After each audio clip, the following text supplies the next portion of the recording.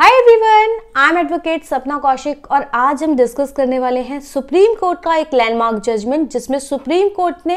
काफ़ी समय से अलग रह रहे एक कपल को शादी खत्म करने की परमिशन दे दी अपनी आर्टिकल 142 में दी गई पावर्स के अंदर। क्या है ये पावर्स जो आर्टिकल 142 में सुप्रीम कोर्ट को दी गई हैं और कैसे यहाँ पर बिना पति या पत्नी की मंजूरी के बिना भी यहाँ पर डिवोर्स हो सकता है? यानी कि अगर पति या पत्नी में से कोई व्यक्ति राज़ी नहीं है अपने पार्टनर को तलाक देने के लिए, उस केस में भी सुप्रीम कोर्ट अपनी पावर्स को यूज़ करके तलाक दे सकता है। आज हम उसी को डिस्कस करेंगे, लेकिन उससे पहले एक और इंपॉर्टेंट बात कि अगर आपने हमारा यूट्यूब चैनल अभी तक सब्सक्राइब नहीं किया तो प्लीज़ चैनल को सब्सक्राइब कीजिए ताकि हम आपको ऐसे ही लीगल अपडेट्स दे सकें।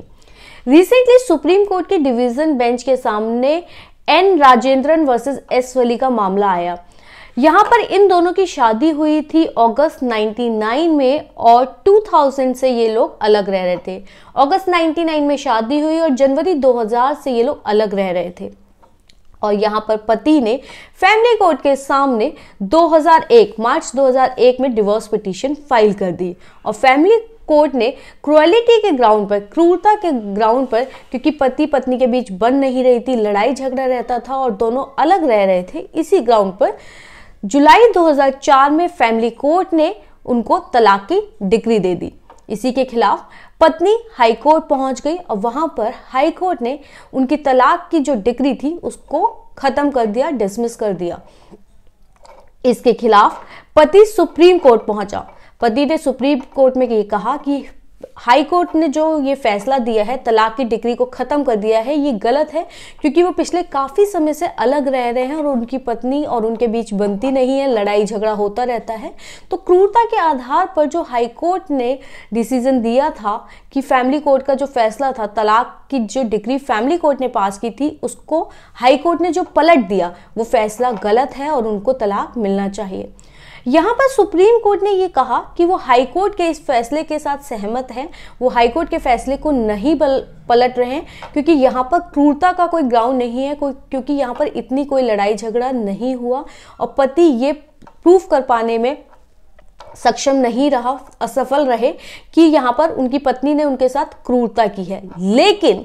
क्योंकि वो पिछले कई सालों से 2000 से वो अलग रह रहे हैं और अब कम से कम 20-22 साल उनको अलग रहते हुए हो चुके हैं और वो सारी कोशिश कर चुके हैं और अब उनका साथ रहना नामुमकिन है, उनकी शादी पूरी तरीके से टूट चुकी है, खत्म हो चुकी है। अब क्योंकि उनका साथ रहना मुश्किल है, इतना टाइम हो चुका है, इन्हीं सब बातों को देखते हुए सुप्रीम कोर्ट ने अपनी पावर्स जो कि उसको कॉन्स्टिट्यूशन ने आर्टिकल 142 में दी है, उनको यूज़ करते हुए उनकी शादी खत्म करने की परमिशन दे दी। इस कंडीशन के साथ कि पति अपनी पत्नी को 20 लाख रुपए की पेमेंट करेगा आठ हफ्तों के अंदर, और जब तक ये पेमेंट नहीं होगी, वो सात हज़ार रुपए अपनी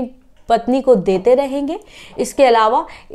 उनको अपने बेटे को भी अपनी प्रॉपर्टी में राइट्स देने पड़ेंगे।